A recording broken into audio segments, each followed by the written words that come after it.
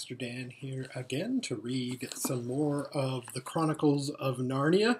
We are on chapter 7, and if you remember, we just left off with um, with Shasta hiding in the tombs, the king's tombs, and uh, someone uh, coming guiding the horses to where he was.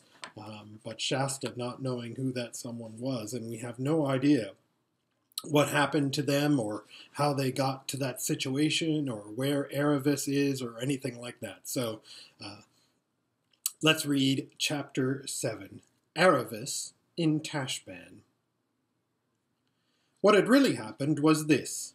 When Aravis saw Shasta hurried away by the Narnians, and found herself alone with the with two horses who, very wisely, wouldn't say a word, she never lost her head even for a moment. She grabbed Bree's halter and stood still, holding both the horses, and though her heart was beating as hard as a hammer, she did nothing to show it. As soon as the Narnian lords had passed, she tried to move on again. But before she could take a step, another crier, bother all these people, thought Aravis, was heard shouting out, Way, way, way for the Tarkheena, Lasaraleen!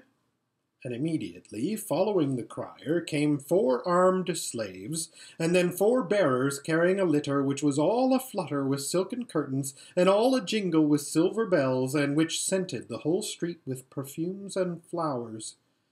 After the litter, female slaves in beautiful clothes, and then a few grooms, runners, pages, and the like. And now Aravis made her first mistake. She knew Lasaraleen quite well, almost as if they had been at school together, because they had often stayed in the same houses and been to the same parties. And Aravis couldn't help looking up to see what Lasaraleen looked like now that she was married and a very great person indeed. It was fatal.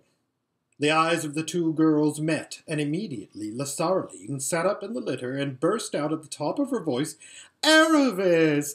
What on earth are you doing here? Your father!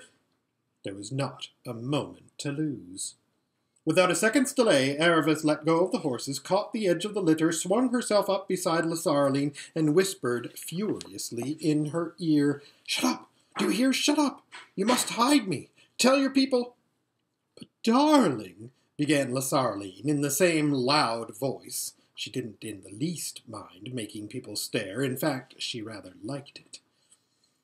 Do what I tell you, or I'll never speak to you again, hissed Aravis. Please, please be quick. Laz, it's frightfully important. Tell your people to bring those two horses along. Pull all the curtains of the litter and get away somewhere where I can't be found. And do hurry. All right, darling, said Lasaraleen in her lazy voice. Here, two of you take the Tarkheena's horses, this was to the slaves, and now home. I say, darling, do you think we really want the curtains drawn on a day like this? I mean to say. But Aravis had already drawn the curtains, enclosing Lasaraleen and herself in a rich and scented but rather stuffy kind of tent. I mustn't be seen, she said. My father doesn't know I'm here. I'm running away. My dear, how perfectly thrilling, said Lasaraleen. I'm dying to hear all about it. Darling, you're sitting on my dress. Do you mind? That's better. It is a new one. Do you like it? I got it at... Laz, do be serious, said Lassa, said Aravis. Where is my father? Didn't you know? said Lasaraleen. He's here, of course. He came to town yesterday and is asking about you everywhere. And to think of you and me being here together and his not knowing anything about it. It's the funniest thing I ever heard. And she went off into giggles.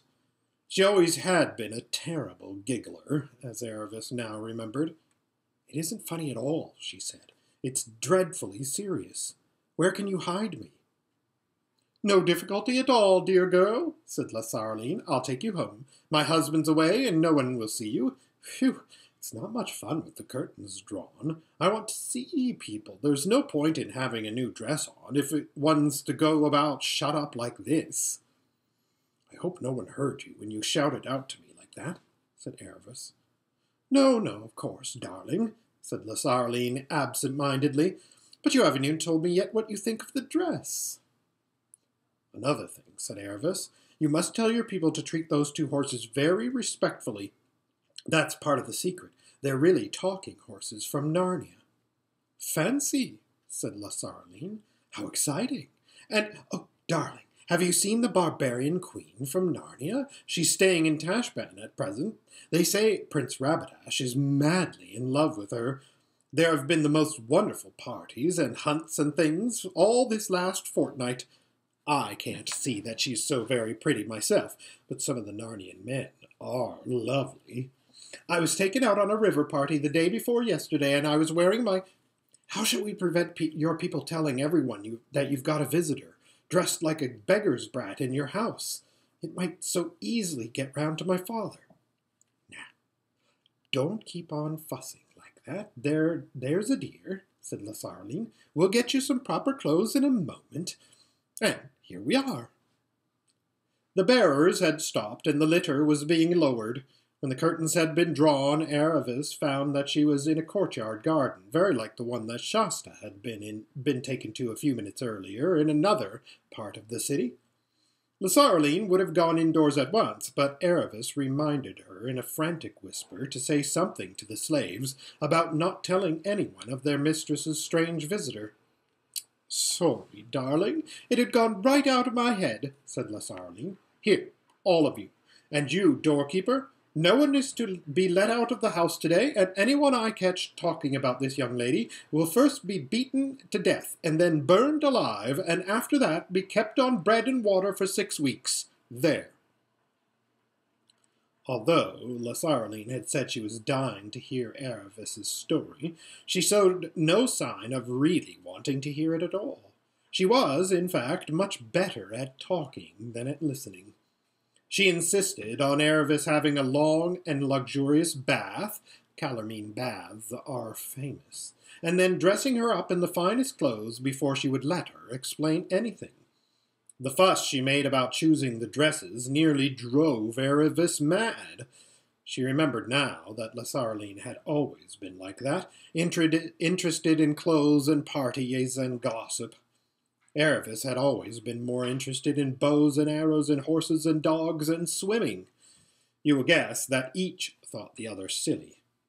But when at last they were both seated after a meal, it was chiefly, chiefly of whipped cream and jelly and fruit and ice sort in a beautiful pillared room, which Aravis would have liked better if Lasaraleen's spoiled pet monkey hadn't been climbing about it all the time. Lasaraleen at last asked her why she was running away from home. When Aravis had finished telling her story, Lasaraleen said, But darling, why don't you marry Ahoshta Tarkaan? Everyone's crazy about him. My husband says he is beginning to be one of the greatest men in Calormen. He has just been made Grand Vizier now that old uh, Arsaktha, As, Axar, Axartha, whew, excuse me, has died. Didn't you know? I don't care. I can't stand the sight of him, said Aravis. But darling, only think! Three palaces, and one of them, that beautiful one down on the lake at Ilkeen, positively ropes of pearls, I'm told, baths of ass's milk, and you'd see such a lot of me.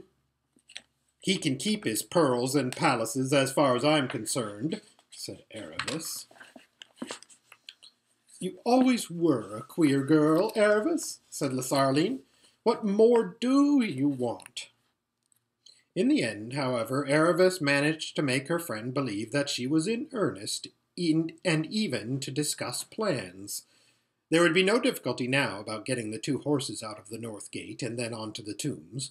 No one would stop or question a groom in fine clothes leading a war horse and a lady's saddle horse down to the river, and Lasaraleen had plenty of grooms to send. It wasn't so easy to decide what to do about Aravis herself. She suggested that she could be carried out in the litter with the curtains drawn, but Lasaraleen told her that the litters were only used in the city, and the sight of one going out through the gate would be certain to lead to questions. When they had talked for a long time, and it was all the longer because Aravis found it hard to keep her friend to the point, at last Lasaraleen clapped her hands and said, Oh, I have an idea. There is one way of getting out of the city without using the gates. The Tisroc's garden, may live forever, runs right down to the water, and there is a little water door, only for the palace people, of course. But then, you know, dear, here she tittered a little, we almost are palace people. I say, it is lucky for you that you came to me. The Tisroc, may he live forever, is so kind. We're asked to the palace almost every day, and it's like a second home. I love all the dear princes and princesses, and I positively adore Prince Rabadash. I might run in and see any of the palace ladies at any hour of the day or night. Why shouldn't I slip in with you after dark and let you out by the water door? There are always a few punts and things tied up outside it, and even if we were caught, all would be lost, said Aravis. Oh, darling, don't get so excited, said Lasaraleen. I was going to say, even if we were caught, everyone would only say it was one of my mad jokes. I'm getting quite well known for them. Only the other day, do listen, my dear, this is frightfully funny. I meant all would be lost for me, said Aravis a little sharply. Oh, ah, uh, yes, I do see what you mean, darling. Well, can you think of any better plan? Aravis couldn't, and answered, No, we'll have to risk it. When can we start? Oh, not tonight, said Lasaraleen. Of course not tonight. There's a great feast on tonight. I must start getting my hair done for it in a few minutes, and the whole place will be blaze of lights, and such a crowd, too. It will have to be tomorrow night. This was bad news for Aravis, but she had to make the best of it. The afternoon passed very slowly, and it was a relief when Lasaraleen went out to the banquet, for Aravis was very tired of her giggling and her talk about dresses and parties, weddings and engagements and scandals. She went to bed early, and that part she did enjoy. It was so nice to have pillows and sheets again. But the next day passed very slowly. Lasaraleen wanted to go back on the whole arrangement, and kept on telling Aravis that Narnia was a country of perpetual snow and ice, inhabited by demons and sorcerers, and she was mad to think of going there. And with a peasant boy, too? said Lasaraleen. Darling, think of it. It's not nice. Aravis had thought of it a good deal. But she was so tired of Lasaraleen's silliness by now that for the first time she began to think that traveling with Shasta was really rather more fun than fashionable life in Tashbaan. So she only replied, You forget that I'll be a nobody just like him when we get to Narnia, and anyway, I promised. And to think, said Lasaraleen, almost crying, that if only you had sense you could be the wife of the Grand Vizier. Aravis went away to have a private word with the horses. You must go with the groom a little before sunset down, on the t- down to the tombs, she said. No more of those packs. You'll be saddled and bridled again, but there'll have to be food in Hwin's saddlebags and a full water skin behind yours, Bree. The man has orders to let you both have a good long drink at the far side of the bridge. And then Narnia in the north, whispered Bree. But what if Shasta is not at the tombs? Wait for him, of course, said Aravis. I hope you've been quite comfortable. Never better, better stabled in my life, said Bree. But if the husband of that tittering Tarkheena friend of yours is paying his head groom to get the best oats, then I think the head groom is cheating him.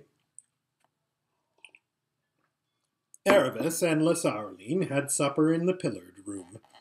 About two hours later, they were ready to start. Aravis was dressed to look like a superior slave girl in a great house, and wore a veil over her face. They had agreed that if any questions were asked, Lasaraleen would pretend that Aravis was a slave she was taking as a present to one of the princesses. The two girls went out on foot.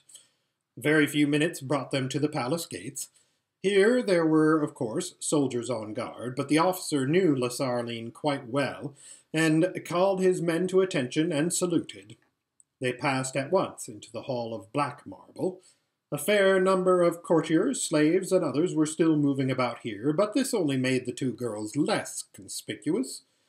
They passed on into the Hall of Pillars, and then into the Hall of Statues, and down the colonnade, passing great beaten copper doors of the throne room. It was all magnificent beyond description, what they could see of it in the dim light of the lamps. Presently they came out into the garden court, which sloped downhill in a number of terraces. On the far side of that they came to the old palace.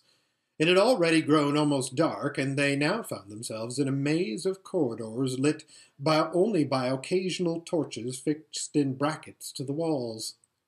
Lasaraleen halted at a place where you had to go either right or left.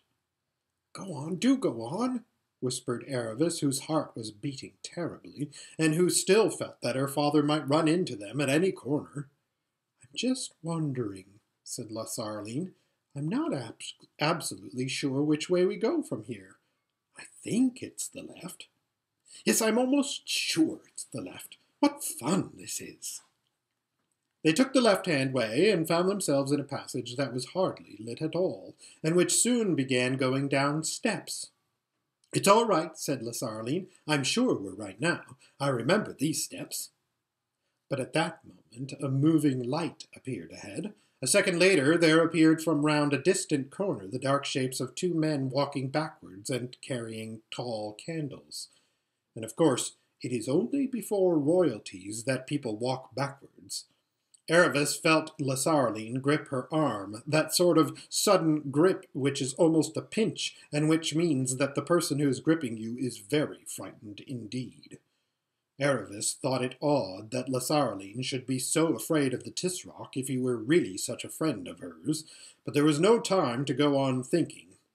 Lasaraleen was hurrying her back to the top of the steps on tiptoe and groping wildly along the wall. Here's a door, she whispered. Quick! They went in, drew the door very softly behind them, and found themselves in pitch darkness.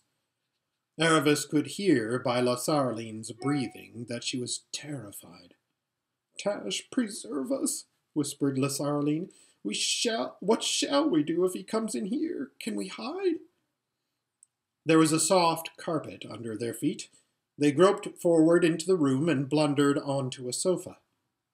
Let's lie down behind it, whimpered Lasaraleen. Oh, I do wish we hadn't come. There was just room between the sofa and the curtained wall, and the two girls got down.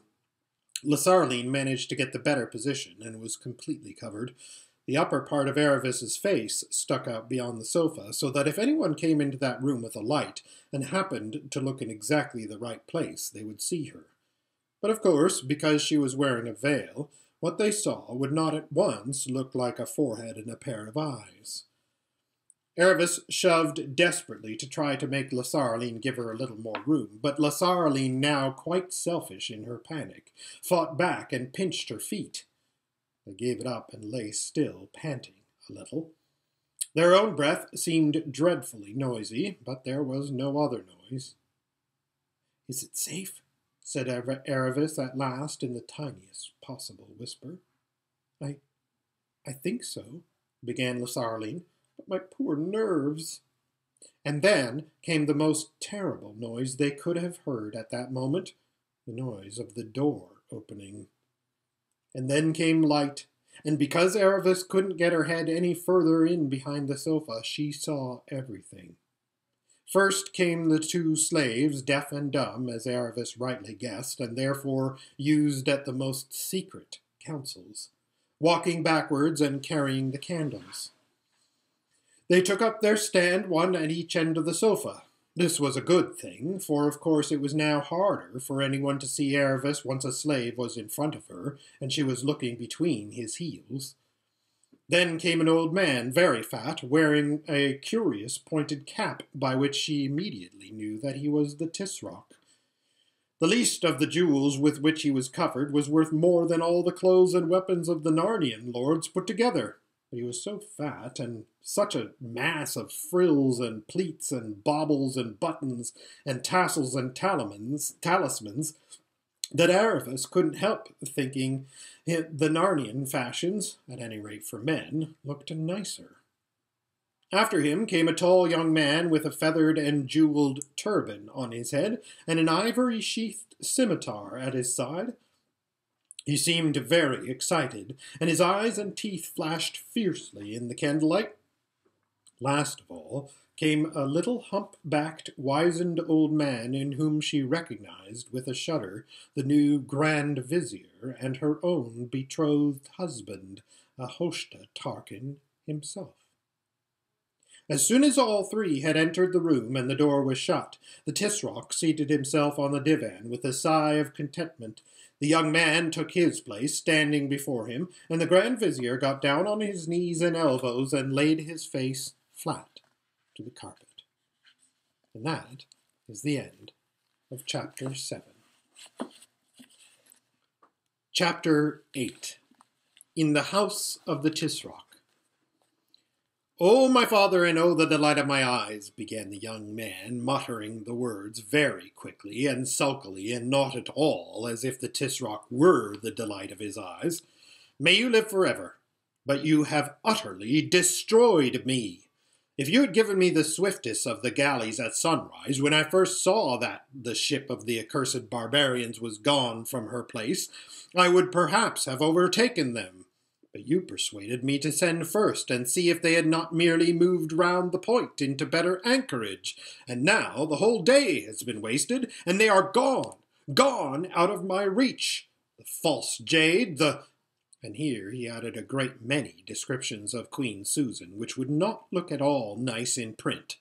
For, of course, this young man was Prince Rabadash, and, of course, the false jade was Susan of Narnia. Compose yourself, O my son, said the Tisroc, for the departure of guests makes a wound that is easily healed in the heart of a judicious host. But I want her, cried the prince. I must have her. I shall die if I do not get her, false, proud, black-hearted daughter of a dog that she is. I cannot sleep, and my food has no savour, and my eyes are darkened because of her beauty. I must have the barbarian queen. How well it was said by a gifted poet, observed the vizier, raising his face in a somewhat dusty condition from the carpet, that deep draughts from the fountain of reason are desirable in order to extinguish the fire of youthful love. This seemed to exasperate the prince, Dog! he shouted, directing a series of well aimed kicks at the hind quarters of the vizier. Do not dare to quote the poets at me. I have had maxims and verses flung at me all day, and I can endure them no more. I am afraid Aravis did not feel at all sorry for the vizier. The Tisroc was apparently sunk in thought, but when, after a long pause, he noticed what was happening, he said, My son, by all means desist from kicking the venerable and enlightened vizier, for as a costly jewel retains its value even if hidden in a dunghill, so old age and discretion are to be respected even in the vile persons of our subjects. Therefore, desist, and tell us what you desire and propose. I desire and propose, O my father, said Rabadash, that you immediately call out your invincible armies and invade the thrice accursed land of Narnia, and waste it with fire and sword, and add it to your illimitable empire, killing their high king and all of his blood except the Queen Susan.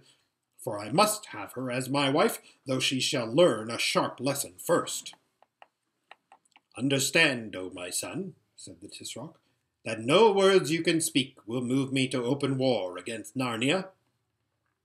If you were not my father, O ever-living Tisroc, said the, prison, said the prince, grinding his teeth, I should say that was the word of a coward. And if you were not my son, O most inflammable Rabadash, replied his father, your life would be short and your death slow when you had said it. The cool, placid voice in which he spoke these words made Aravis's blood run cold. But why, O oh my father, said the prince, this time in a much more respectful voice, why should we think twice about punishing Narnia any more than about hanging an idle slave or setting a worn-out horse to be made into dog's meat? It is not the fourth size of one of your least provinces. A thousand spears could conquer it in five weeks. It is an unseemly blot on the skirts of your empire. Most undoubtedly, said the Tisroc. These little barbarian countries that call themselves free, which is as much as to say idle, disordered, and unprofitable, are hateful to the gods and to all persons of discernment. Then why have we suffered such a land as Narnia to remain thus long unsubdued? Know, O enlightened prince, said the Grand Vizier, that until the year in which your exalted father began his salutary and unending reign, the land of Narnia was covered with ice and snow, and was moreover ruled by a most powerful enchantress. This I know very well, O loquacious vizier, answered the, prince, the prince, but I know also that the enchantress is dead, and the ice and snow have vanished, so that Narnia is now wholesome, fruitful, and delicious. And the change, this change, O most learned prince, has doubtless been brought to pass by the powerful incantations of those wicked persons who now call themselves kings and queens of Narnia.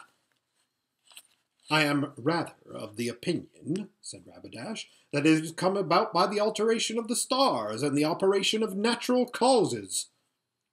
All this, said the Tisroc, is a question for the disputations of learned men. I will never believe that so great an alternation, alteration and the killing of the old enchantress were effected without the aid of strong magic. Such things are to be expected in that land, which is chiefly inhabited by demons in the shape of beasts that talk like men, and monsters that are half man and half beast.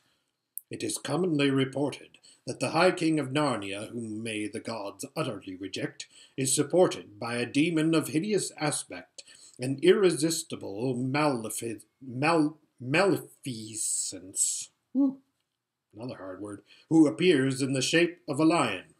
Therefore, the attacking of Narnia is a dark and doubtful enterprise, and I am determined not to put my hand out farther than I can draw it back.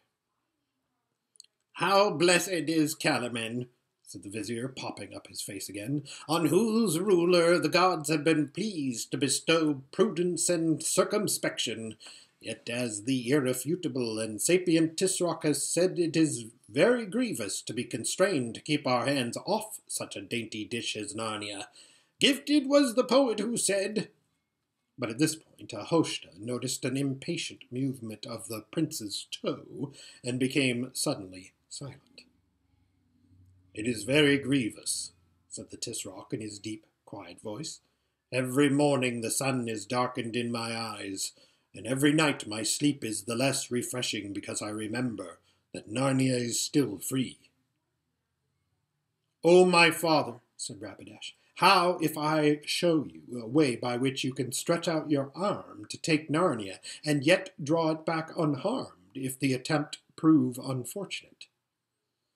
If you can show me that, O Rabadash, said the Tisroc, you will be the best of sons. Here then, O father, this very night and in this hour I will take but two hundred horse, and ride across the desert, and it shall seem to all men that you know nothing of my going. On the second morning I shall be at the gates of King Lune's castle of Anvard in Archenland, they are at peace with us and unprepared, and I shall take Anvard before they have bestirred themselves. Then I will ride through the pass above Anvard and down through Narnia to Cair Paravel. The High King will not be there. When I left him, he was already preparing a raid against the giants on his northern border. I shall find Cair Paravel most likely with open gates and ride in.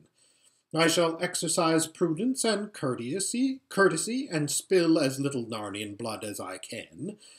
And what then remains but to sit there till the splendor Hyaline puts in, with Queen Susan on board, catch my strayed bird as she sets foot ashore, swing her into the saddle, and then ride, ride, ride back to Anvard.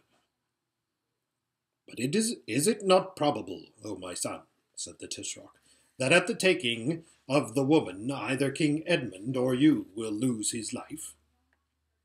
They will be a small company, said Rabadash, and I will order ten of my men to disarm and bind him, restraining my vehement desire for his blood, so that there shall be no deadly cause of war between you and the High King. And how if the Splendor Hyaline is at Cair Paravel before you? I do not look for that with these winds, O my father. And lastly, O my resourceful son, said the Tisroc, you have made clear how all this might give you, the barbarian woman, but not how it helps me to the overthrowing of Narnia. O my father, can it have escaped you that though I and my horsemen will come and go through Narnia like an arrow from a bow, yet we shall have Anvard forever? And when you hold Anvard, you sit in the very gate of Narnia, and your garrison in Anvard can be increased by little and little till it is a great host. It is spoken with understanding and foresight. But how do I draw back my arm if this miscarries?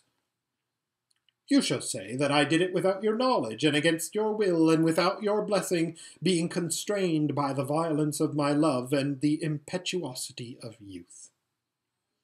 And how if the High King then demands that we send back the barbarian woman, his sister?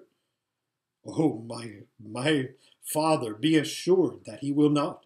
For though the fancy of a woman has rejected this marriage, the High King Peter is a man of prudence and understanding, who will in no way wish to lose the high honour and advantage of being allied to our house, and seeing his nephew and grandnephew on the throne of Calormen. You will not see that if I live forever, as is no doubt your wish, said the Tisroc in a drier voice than usual. And also, O my father, and O the delight of my eyes, said the prince, after a moment of awkward silence, we shall write letters as if from the queen to say that she loves me and has no desire to return to Narnia, for it is well known that women are as changeable as weathercocks, and even if they do not wholly believe the letters, they will not dare to come to Tashbaan in arms to fetch her. O enlightened vizier, said the Tisroc, bestow your wisdom upon us concerning this strange proposal. O eternal Tisroc, answered Ahoshta, the strength of paternal affection is not unknown to me, and I have often heard that sons are in the eyes of their fathers more precious than carbuncles. How then shall I dare freely to unfold to you in my, my mind in a matter which may imperil the life of this exalted prince? Undoubtedly you will dare, replied the Tisroc, because you will find that the dangers of not doing so are at least equally great. To hear is to obey, moaned the wretched, wretched man. Know then, O most reasonable Tisroc, in the first place, that the danger of the prince is not altogether so great as it might appear, for the gods have withheld from the barbarians the light of discretion, as that their poetry is not like ours, full of choice apophthegms and useful maxims, but is all of love and war, and therefore nothing will appear to them more noble and admirable than such a mad enterprise as this of. Ow! For the prince, at the word mad, had kicked him again. Desist, O my son, said the Tisroc, and you, estimable vizier, whether he desists or not, by no means allow the flow of your eloquence to be interrupted, for nothing is more suitable to persons of gravity and decorum than to endure minor inconveniences with constancy. To hear is to obey, said the vizier, wriggling himself around a little so as to get his hinder parts further away from Rabadash's toe. Nothing, I say, will seem as pardonable, if not estimable, in their eyes as this er, hazardous attempt, especially because it is undertaken for the love of a woman. Therefore, if the prince by misfortune fell into their hands, they would assuredly not kill him. Nay, it may even be that though he failed to carry off the queen, yet the sight of his great valour and the, of the extremity of his passion might incline her heart to him, that is a good point, you old blabber, said Rabadash. Very good, however it came into your ugly head. The praise of my masters is the light of my eyes, said Ahoshta, And secondly, oh, O Tisroc, whose reign must and shall be interminable, I think that with the aid of the gods it is very likely that Anvard will fall into the prince's hand, and if so, we have Narnia by the throat. There was a long pause, and the room became so silent that the two girls hardly dared to breathe. At last the Tisroc spoke. Go, my son, he said, and, and do as you have said, but expect no help nor countenance from me. I will not avenge you if you are killed, and I will not deliver you if the barbarians cast you into prison. And if, either in success or failure, you shed a drop more than you need of Narnian noble blood, and open war arises from it, my favour shall never fall upon you again, and your next brother shall have your place in Calormen. Now go. Be swift, secret, and fortunate. May the strength of Tash, the inexorable, the irresistible, be in your sword and lance. To hear is to obey, cried Rabadash, and after kneeling for a moment to kiss his father's hands, he rushed from the room. Greatly to the disappointment of Aravis, who was now horribly cramped, the Tisroc and Vizier remained. O Vizier, said the Tisroc, is it certain that no living soul knows of this council we three have held here tonight? O my master, said Ahoshta, it is not possible that any should know. For that very reason I proposed, and you in your wisdom agreed, that we should meet here in the old palace, where no council is ever held, and none of the household has any occasion to come. It is well, said the Tisroc. If any man knew, I would see to it that he died before an hour had passed. And do you also, O prudent vizier, forget it? I sponge away from my own heart, and from yours all knowledge of the prince's plans. He is gone without my knowledge or my consent, I know not whither, because of his violence and the rash and disobedient disposition of youth. No man will be more astonished than you and I to hear that Anvard is in his hands. To hear is to obey, said Ahoshta.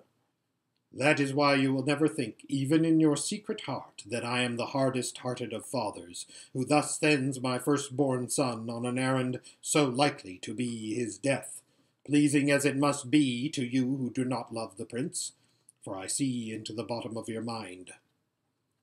O impeccable Tisroc, said the vizier, in comparison with you I love neither the prince nor my own life, nor bread nor water, nor the light of the sun. Your sentiments are elevated and correct. I also love none of these things in comparison with the glory and strength of my throne. If the prince succeeds, we have Archenland and perhaps hereafter Narnia. If he fails, I have eighteen other sons, and Rabadash, after the manner of the eldest sons of kings, was beginning to be dangerous. More than five Tisrocs in Tashbaan have died before their time because their eldest sons, enlightened princes, grew tired of waiting for the throne. He had better cool his blood abroad than boil it in inaction here. And now, O excellent vizier, the excess of my paternal anxiety inclines me to sleep. Command the musicians to my chamber, but before you lie down, call back the pardon we wrote for the third cook feel within me the manifest prognostics of indigestion. To hear is to obey, said the Grand Vizier. He crawled backwards on all fours to the door, rose, bowed, and went out. Even then the Tisroc remained seated, remained seated on the divan in silence until Aravis almost began to be afraid that he had dropped asleep. But at last, with a great creaking and sighing, he heaved up his enormous body, signed to the slaves to precede him with the lights, and went out. The door closed behind him. The room was once more totally dark, and the two girls could breathe freely again. And that is the end of chapter 8. We'll see you tomorrow.